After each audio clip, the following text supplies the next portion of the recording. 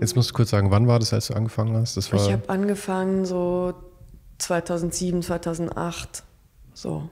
Da war offiziell das Studio oder Saskia Dietz äh, oder wie? wie naja, da war, da war, habe ich eben so die erste, da habe ich das erste Mal in Paris gezeigt. Ah, okay. So. Das, aber das scheint ja für den, für den Laien. Also für ja. mich scheint das irgendwie ein relativ großer Schritt schon. Ich meine, ich fange jetzt nicht an, dass ich äh, einen, Ring mache und sage, ich habe äh, das, das, ich bin Sven, Sven Jüngsmeier Schmuckstudio und nächste Woche bin ich in Paris, oder? Ja, ja, das war halt, ähm, das war irgendwie so, dass ich ähm, im Grunde einfach überhaupt keine Ahnung hatte, wie man was macht. Mhm. Und, Immer ähm, eine gute Voraussetzung. Ja. Und äh, äh, was dann natürlich den Vorteil hat, dass man sich, ähm, dass man sich an verschiedenen Stellen gar nicht fragt, mache ich das jetzt so oder mache ich es nicht so, sondern man macht es halt dann mhm. so. Und ähm, es war so, dass äh, und warum jetzt meine Idee überhaupt so war und wieso Paris und warum und so weiter, das kann ich, weiß ich nicht mehr.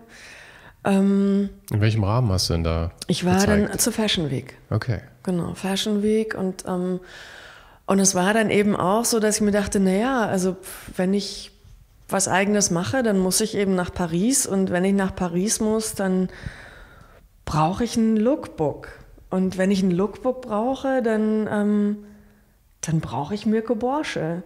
Und den kannte ich damals noch gar nicht. Ja? Also Ach so, du kanntest nur seine Arbeit. Ich kannte, ich, also der, hat, der war damals noch beim SZ-Magazin, der mhm. war noch gar nicht selbstständig. Ach so. Und ich weiß noch, ich habe ihn dann eben angeschrieben und habe gesagt, hör zu, ich, ähm, können wir mal Mittagessen gehen? Dann mhm. habe ich ihn zum Mittagessen eingeladen. Dann hat er gesagt, ja klar, machen wir. Und dann... Ähm, haben wir das gemacht und deshalb habe ich mich, also habe ich mich quasi von Anfang an eben so ein bisschen anders bewegt als so die Schmuckszene generell hier. Mhm. Ja? So.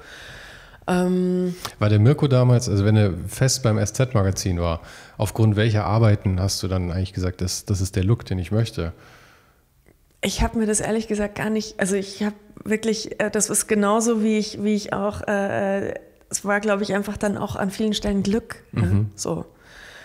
Ähm, und also so wie, ich weiß auch noch, als ich meine, meine Ausbildung angefangen habe, das war auch nur Glück, dass ich in dieser Werkstatt gelandet bin, weil ich ähm, mir ähm, damals die gelben Seiten aufgeschlagen habe.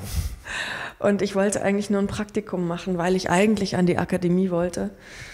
Ähm, und dann habe ich eben so Goldschmieden aufgeschlagen und habe die angefangen durchzutelefonieren. Mhm. Und ähm, äh, sowas wie ein Praktikum war in der Goldschmiede total unüblich.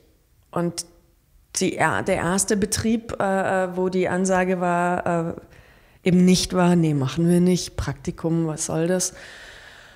Sondern wo äh, die Dame am Telefon gesagt hat, naja, mein Sohn hat gerade seinen Meister gemacht, der hat noch nie jemand ausgebildet, vielleicht mhm. kann er das mit dem Praktikanten mal ausprobieren. Komm doch mal vorbei, bring eine Mappe mit. Da dachte ich mir, wie Mappe? So.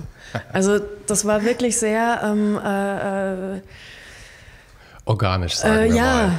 Und dann war das aber so, dass die, also die ersten, ich glaube, nach der zweiten oder dritten Woche haben die mich dann gefragt, ob ich nicht für eine Ausbildung bleiben will. Und Ach weil, echt? Ja, und weil das diese ersten Wochen so wahnsinnig erfüllend und schön waren, dachte ich mir, ja, scheiß auf die Akademie.